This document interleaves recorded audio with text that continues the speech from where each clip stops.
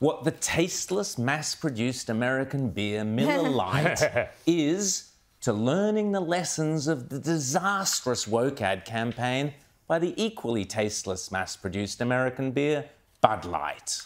Mm. Centuries later, how did the industry pay homage to the founding mothers of beer? They put us in bikinis. Wow. Look at this. Wild. It's time beer made it up to women. So today, Miller Lite is on a mission to clean up not just their shit, but the whole beer industry's shit. Miller Lite has been scouring the internet for all this and buying it back so that they can turn it into good for women brewers.